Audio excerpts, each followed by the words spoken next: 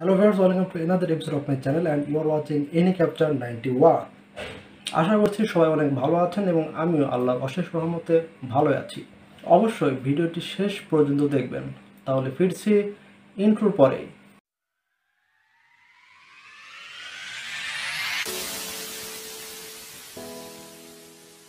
তো বন্ধুরা বাংলাদেশে বর্তমানে যে গুটি কয়েকজন ইন্টারন্যাশনাল মানের পরিচালক রয়েছেন তাদের মধ্যে মুস্তফা সরোয়ার ফারুকী অন্যতম।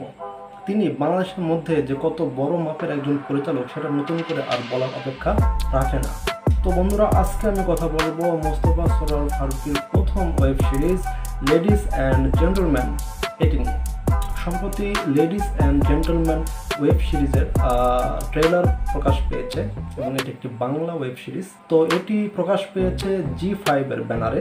তো জি ফাইভ নিঃসন্দেহে ইন্ডিয়ার একটি বড় প্ল্যাটফর্ম তো তারা দু এক বছর ধরে তাদের রিজিওনাল কন্টেন্টগুলো কিনছে এবং তাদের প্ল্যাটফর্মে সেগুলো রীতিমতো প্রকাশ করছে।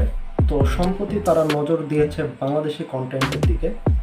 তো এটা খুবই একটি ভালো দিক, কারণ বাংলাদেশে কিন্তু অনেক ভালো ভালো কাজ হয় আর বাংলাদেশের এই ভালো কাজগুলো ছড়িয়ে যাচ্ছে ইন্টারন্যাশনালি আর আর আমি এটাও চাই যে বাংলাদেশের কাজগুলো ছড়িয়ে পড়ুক সব জায়গায়। তো মোস্তফা সরোয়ার ফারুকের প্রথম ওয়েব সিরিজের ট্রেলার আজকে দেখব। তাহলে চলুন বন্ধুরা শুরু করা যাক।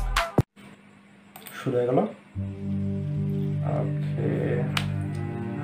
তাসনিয়া ফারিন প্রথমে দেখতে পাচ্ছি। মাথার উপর হাসান মাসুদ। সিসি ক্যামেরা হয়ে বসে তোমরা কখন কি করো আমি সব দেখি।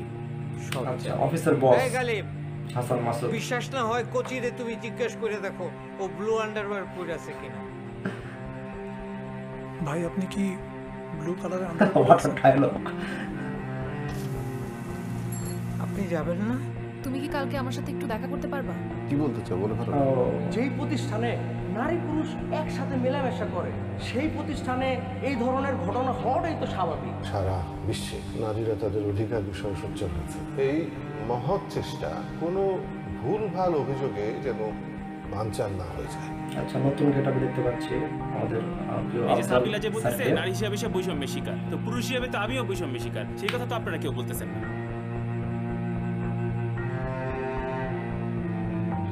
সেদিন আপনি এক ধরনের একটা উত্তেজক পোশাক অর্থাৎ স্লিভলেস ব্লাউজ পরে গিয়েছিলেন কি আপনি নারীর প্রতি বিদ্বেষ আছে। হ্যাঁ? আমার অবস্থা ভিন্ন লোকে। অনেকটা টমেটোর মতো স্যার। কেউ ভাবে সবজি আছে, কেউ ভাবে ফল। আপনি তো খায়। চিনেন এরকম একটা ঘৃণ্য কাজ করতে পারে না।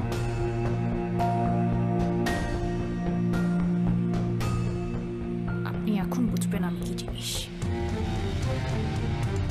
তুমি একটু খোঁজখবর নিয়ে দেখো তো কি অবস্থা।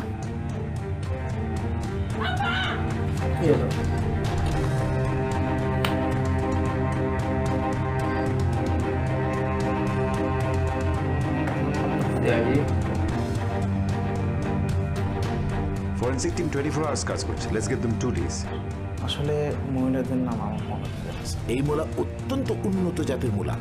এটা জোড়া রাখেন ভাঙা ভাঙা খাইতে পারবেন সব ভালো ভালো চরিত্র আছে।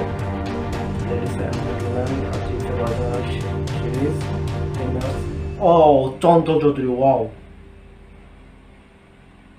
কে আপনি? কাকে চান? আপনি কে? লাস্ট শেষ হয়ে গেল।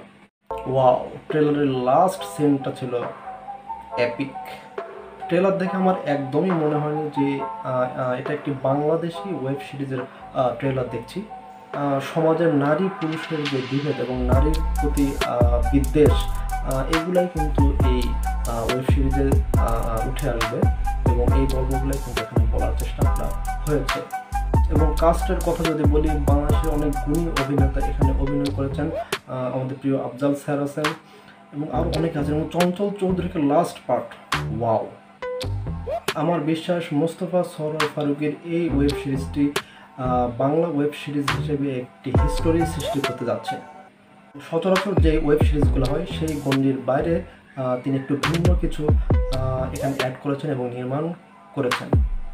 প্রত্যেকটা চরিত্র কিন্তু এখানে নিখুঁতভাবে তুলে ধরা হয়েছে, ফুটেও উঠেছে। যেমন হাসান মাসুদ এখানে বস হিসেবে তিনি কিন্তু দুর্দান্ত। এবং পার্থ বড়ুয়া এখানে পুলিশের চরিত্রে অভিনয় করছেন মানে সিআইডি জয়ন্ত চট্টোপাধ্যায় আছেন। মানে কাস্ট নিয়ে কোনো কথা হবে না। মানে প্রত্যেকটা চরিত্রই মানে খুবই নিখুঁত। অবশ্যই সিরিজটি দেখার অপেক্ষায় থাকলাম।